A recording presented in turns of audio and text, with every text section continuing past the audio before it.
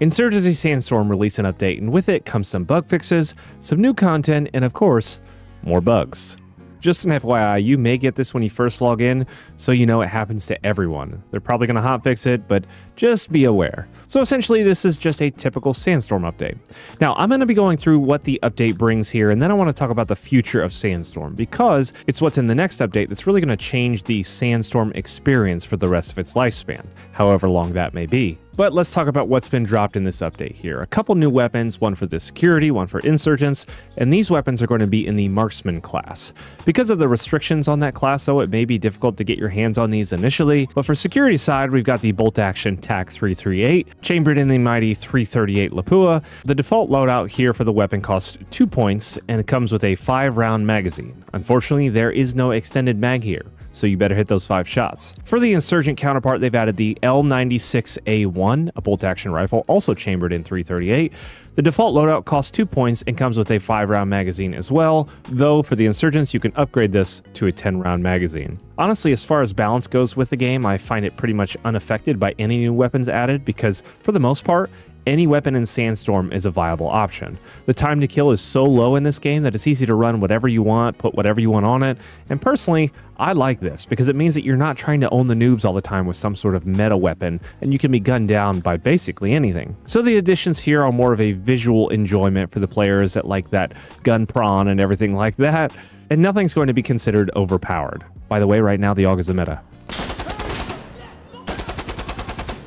In addition to the new weapons, though, they've also added a new map called Train Yard, a close quarters map with fighting in between the train cars and various elevated locations to accommodate for those newly added snipers. But more than likely, you're going to need something to bring for some quick target acquisition. It gets pretty tight between those train cars. On top of all this is something I'm actually really excited to dive into a new limited time game mode called Arms Race.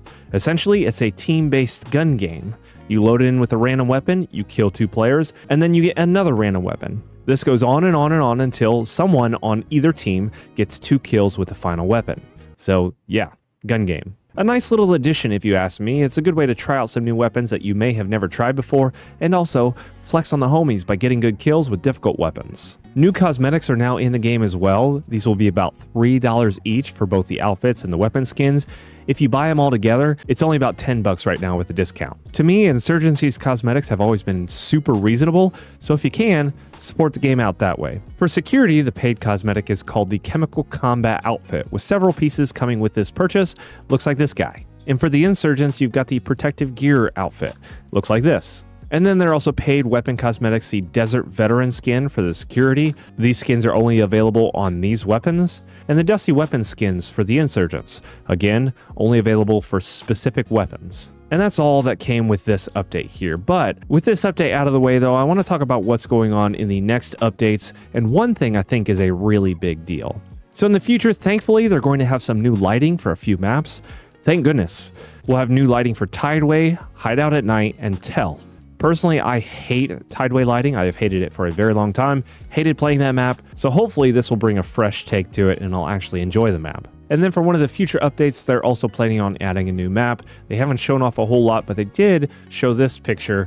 So uh, it's going to be a green map. That'll be nice. I like green. Now, on to what I think is such a big deal and makes me think this is probably the last year of support for the game. I kind of hope I'm wrong, but we'll see. Right now, we're on update 1.16. That's the update that just launched. And in the year three bundle, it goes until 1.18. That's all they've talked about so far. That's all they've mentioned is up to 1.18. So, in my opinion, these will likely be the last few updates the game will receive. With the game releasing back in 2018 and holding a player base pretty steady until 2024 without hardly any difficulty finding matches along the way, it's been a very good life for Insurgency Sandstorm. But one of the solidifying factors to me that the game is nearly done and will likely be done after 1.18 is in 1.17, they're planning to bring crossplay into the mix between console and PC. And this will be great for the Sandstorm player base. It will greatly expand the ability to matchmake, even if you don't see many players online. Just an FYI, you're going to be able to opt in or out of crossplay, so not everybody has to participate here. But this is what makes me think the game is almost done. Once crossplay gets implemented, the content will be enough to continue supporting the servers until eventually the player numbers dwindle over the next couple of years and the game finishes its lifespan. They wanted to combine the player bases so the game lasts longer and longer. That's just sort of my theory here. From there, I think they may just put a skeleton crew on it to manage the servers, maybe do some hotfixes, and the team will move on to a different game. Luckily, though, with this game, you can host your own servers. So even if the game itself does die on the official servers or they close those down, you're going to be able to still play using a server browser with your own personal rented servers and mods. Right now, PvP servers are pretty rare to come by, but they are available. But I think it's great the game can never officially be killed because you've given the keys to the community here.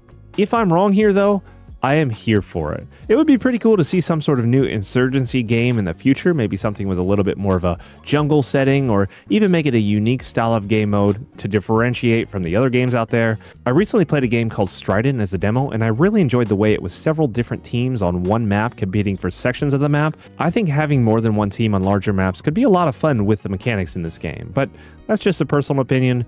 Who knows if we'll see another insurgency game. All in all, though, I have enjoyed Sandstorm over the years, and I'm glad that I can hop back in and play this new update for a few days. I'll be streaming some of that over on Twitch probably right now, so if you head over there, you can catch me Tuesday, Wednesday, and Fridays in the afternoons. But that's all with this one. What do you guys think? Is my hypothesis correct about this next update, or maybe I missed some news along the way and they've promised more than that? Let me know down below. Thank you so much for watching. If you enjoyed the video, a like would be great. If you didn't, a dislike is fine. And until the next one, blend in until you need to stand out.